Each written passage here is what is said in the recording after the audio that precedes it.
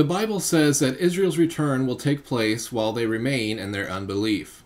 The change of the people of Israel is described in Ezekiel chapter 36 verse 26. A new heart also will I give you, and a new spirit will I put within you. And I will take away the stony heart out of your flesh, and I will give you an heart of flesh. Notice that this is a new spirit, not his spirit. The Jews who return to Israel will experience a change, but not a conversion. They aren't coming back because of their belief in God, but because of existence, security, and identity. Since 1948, they have built a political, military, and economic identity to be reckoned with. But that's only the beginning.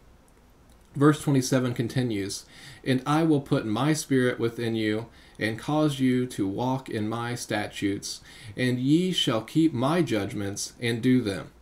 That is Israel's future, their national conversion. It will happen after the church from among the Gentiles has been completed. Paul explains, For I would not, brethren, that ye should be ignorant of this mystery, lest ye should be wise in your own conceits, that blindness in part is happened to Israel, until the fullness of the Gentiles be come in.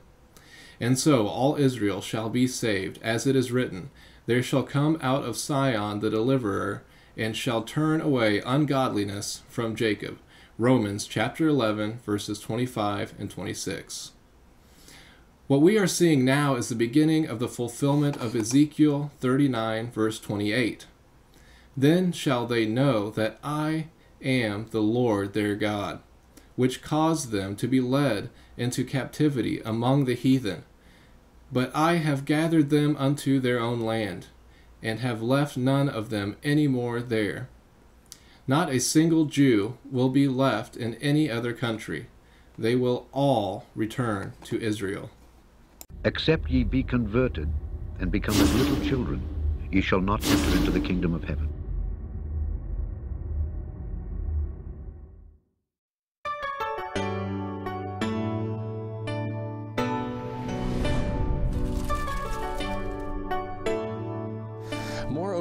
Brethren, I declare unto you the gospel, which I preached unto you, which also ye have received, and wherein ye stand, by which also ye are saved, if ye keep in memory what I preached unto you, unless ye have believed in vain.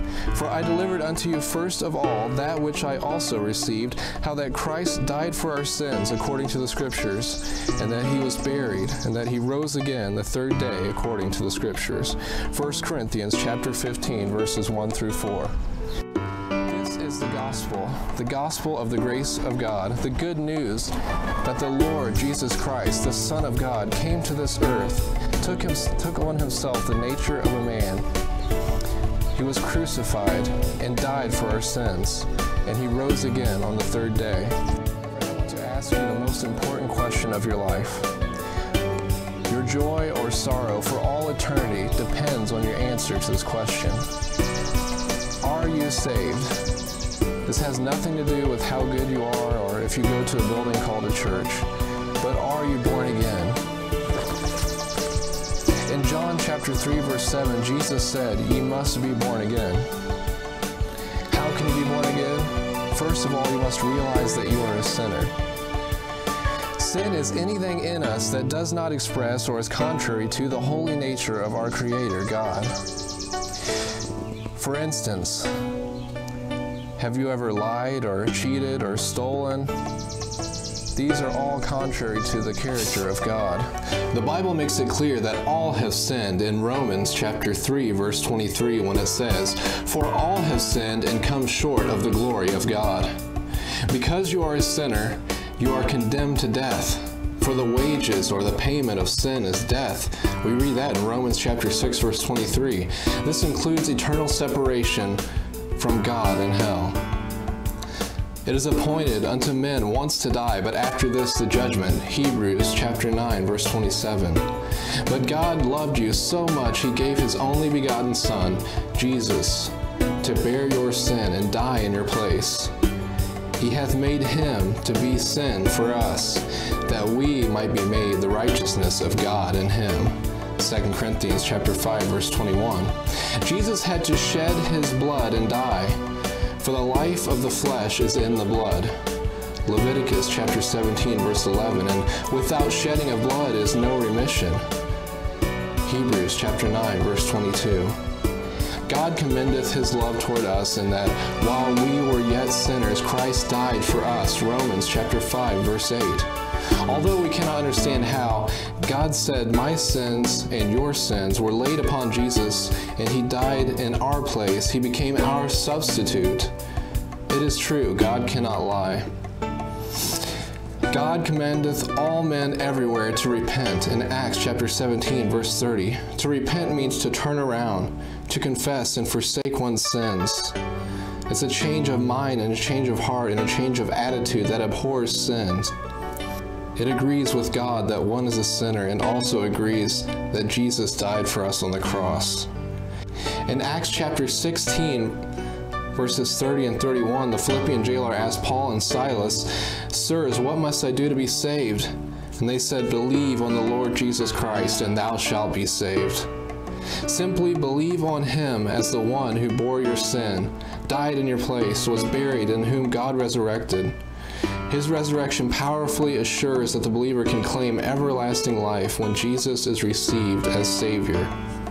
But as many as received him, to them gave he power to become the sons of God, even to them that believe on his name. John chapter 1 verse 12. For whosoever shall call upon the name of the Lord shall be saved. Romans chapter 10 verse 13. Whosoever includes you shall be saved means not maybe nor can, but shall be saved. If you would like to learn more about sin, salvation, the Lord Jesus Christ, or anything else concerning the Christian faith, please visit www.acceptgbconverted.com.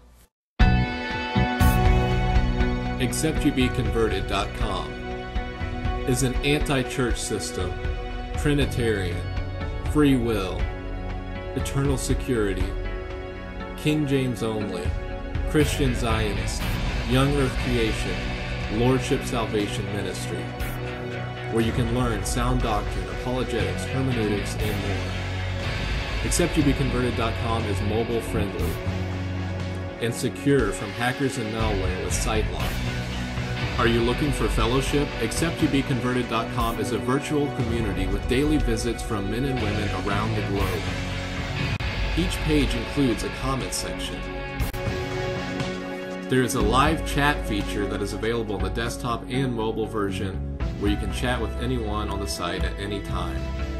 Join the fun on the message board, which you can access by clicking on the link on the footer or by going to acceptubeconverted.proboards.com. AcceptUBeConverted.com offers MP3 Bible teaching through sermon audio, which you can access through the website or through sermonaudio.com or the Sermon Audio app. Just search for It Is Written KJV. If you would like to send me your prayer requests, questions, or comments, there is a contact form on the website, also my Facebook and Twitter. Feel free to contact me anytime. I would love to hear from you. Please visit today, support the ministry, share with your friends and family, share on gospel tracks, pray for the ministry, become a partner, and help spread the truth of God's Word far and wide.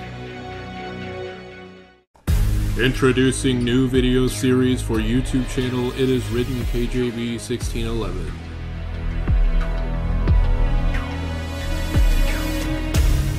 Bible Hermeneutics. Learn how to correctly interpret the Bible.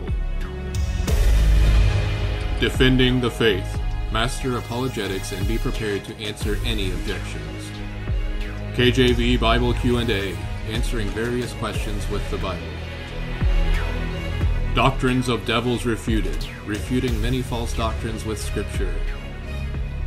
False Church System Exposed, exposing the many problems within the modern church system. Go Preach, all about spreading the gospel. False Teachers Exposed, Bible teachers held accountable and named by name. KJV Defended, exposing corrupt modern Bible versions and teaching all things concerning the King James Bible. And more. Please subscribe and share.